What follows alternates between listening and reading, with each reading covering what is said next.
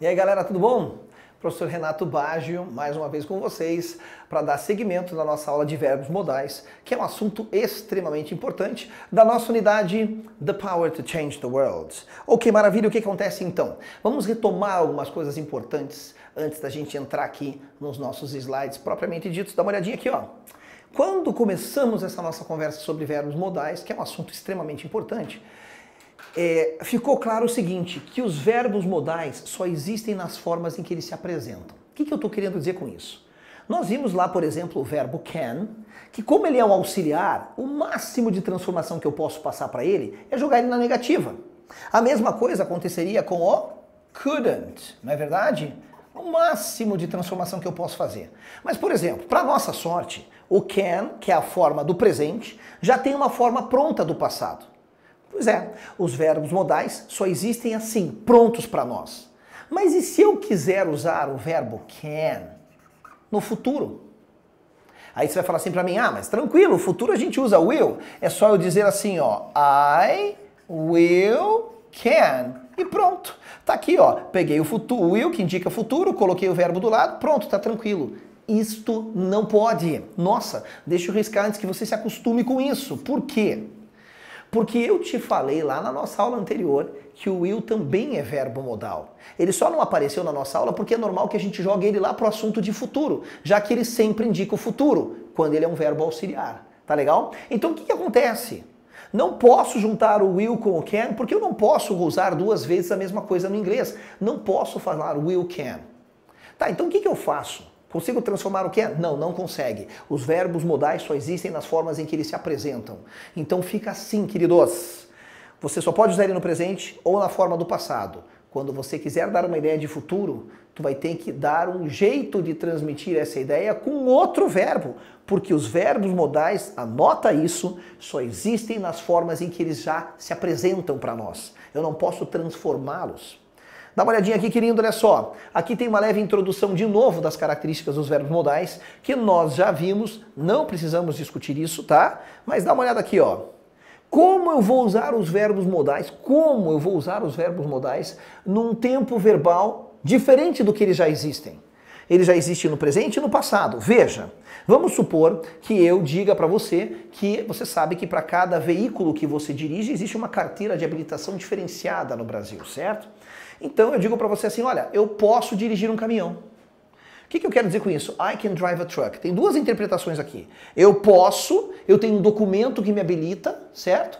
Ou eu posso dizer assim, a tradução dessa frase pode ser eu sei dirigir um caminhão. Eu tenho esta habilidade, porque não é muito fácil você manobrar uma carreta, por exemplo, tá bom? É só um exemplo, eu não dirijo caminhão, mas acho o máximo. Agora vamos lá.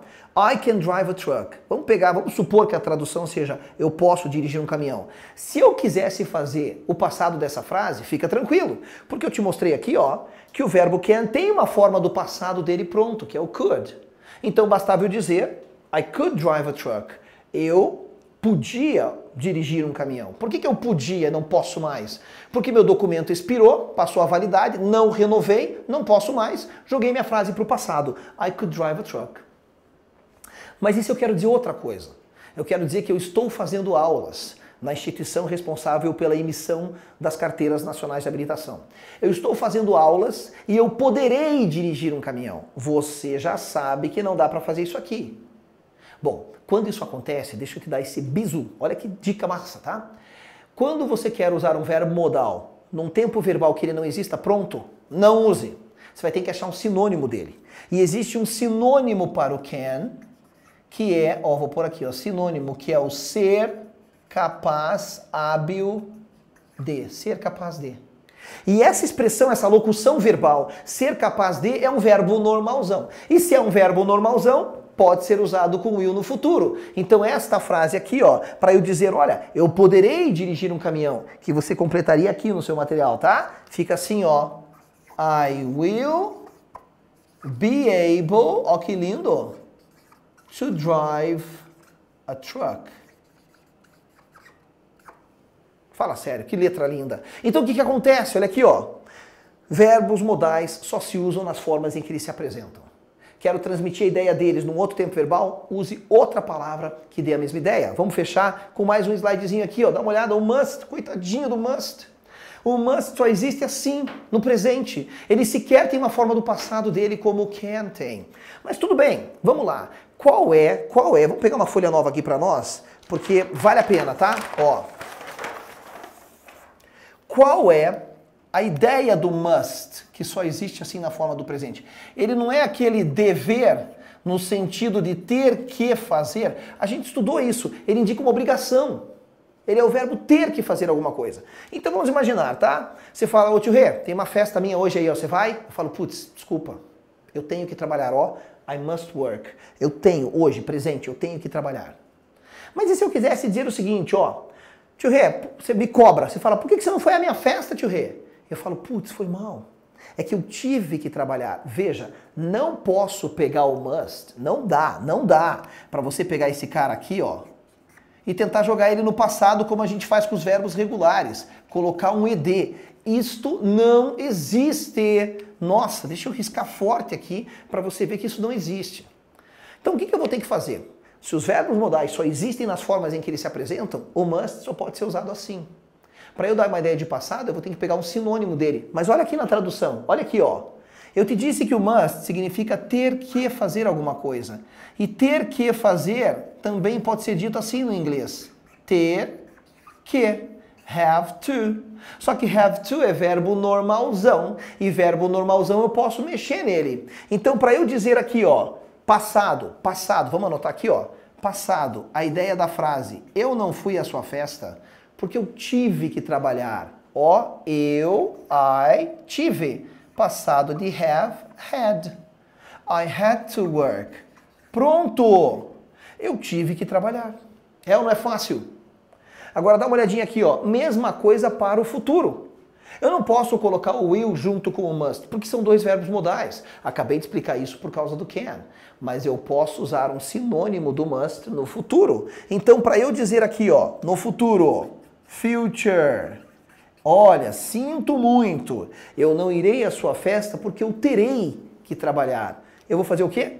Eu vou usar o meu amiguinho will de futuro, mas não posso colocar o must. Então eu uso o sinônimo dele. Tá aqui, ó. I will have to work. Eu terei que trabalhar. Pronto. É assim que esse cara funciona e isso nos permite que agora a gente possa ler um textozinho curto com aplicação de verbos modais ali dentro, para você perceber como isso é uma prática recorrente, como os verbos modais eles são realmente muito comuns na língua inglesa, tá legal? E são muito úteis, né? Dá uma olhadinha aqui, ó. E aliás, eu sempre trago uns textos assim, né? Esse texto aqui você vai perceber, é um texto real. A gente, eu gosto muito de texto informativo provas de inglês de qualquer instituição, tá? Você vai pegar aí qualquer vestibular futuramente, você vai pegar aí qualquer concurso público, sempre são textos informativos, autênticos. Ninguém cria o texto do nada, tá? Olha o que ele diz aqui, ó. In India, unwed women are a social stigma and a financial burden to families. But without cash or consumer goods to offer a groom, they have little chance of marrying. Last week, a young man took his own life in an attempt to provide dowries for his two unmarried sisters. Unemployed and without job prospects, Sunil Kumar, 19, hit upon the idea of selling his organs. Although the trade in human organs is illegal, many impoverished Indians sell their kidneys. Calma que já vai aparecer o verbo modal. Mas olha o que ele diz aqui, ó.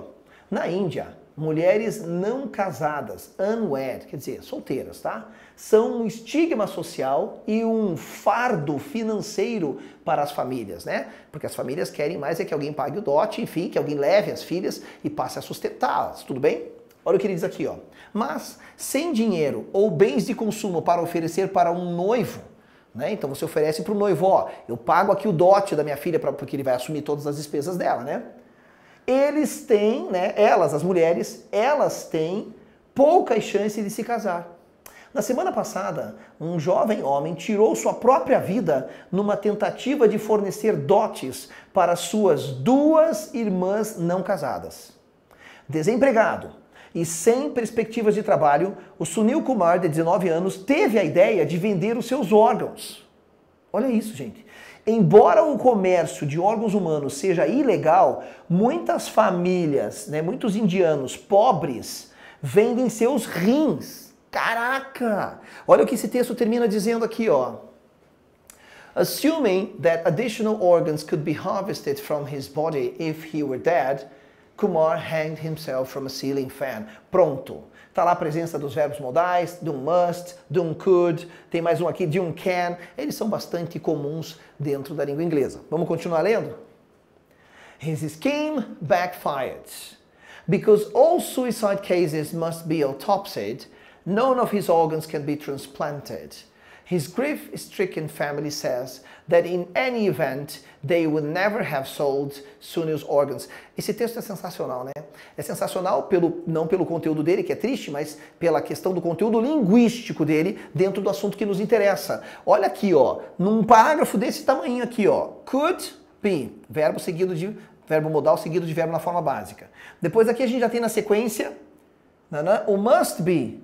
Daí já temos o can be e já temos aqui, ó, esse cara aqui, se você voltar uma aula atrás, você vai perceber que quando a gente falou de verbos modais, eu falei desse cara aqui, ó. O que, que acontece aqui, ó? Esse would, ele pode vir acompanhado do verbo have, mais um outro verbo ainda. O nome dessa estrutura é past modal e tem uma vantagem. Ela pode ser traduzida ao pé da letra do português. Agora vamos lá, vamos lembrar de uma coisa. Esse would não tem tradução literal, tá bom? Então ele vai fazer junto com o have o verbo terminado em ia. Funciona assim no inglês, ó. Toda vez que você tem would mais um verbo do lado dele, ele faz com que o verbo do lado dele termine em ia. Então se você fala would study, você está falando estudaria. Se você fala would like, você está dizendo gostaria. É isso que ele faz. Então vamos ler aqui, ó.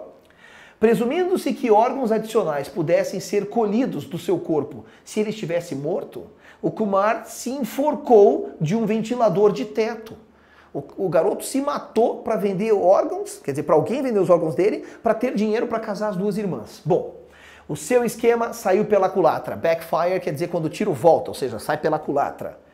Porque todos os casos de suicídio devem ser feita autópsia, nenhum dos seus órgãos pode ser transplantado, ou seja, não pode vender nada. Tem que ser feita autópsia. E o, a venda de órgãos é ilegal na Índia, tá? A sua família atingida pela tristeza, ou seja, grief stricken, a gente vai traduzir como muito triste, diz que em nenhuma situação, em nenhum evento, eles jamais teriam vendido os órgãos do Sunil. Ou seja, né, nem que ele quisesse isso, jamais fariam isso.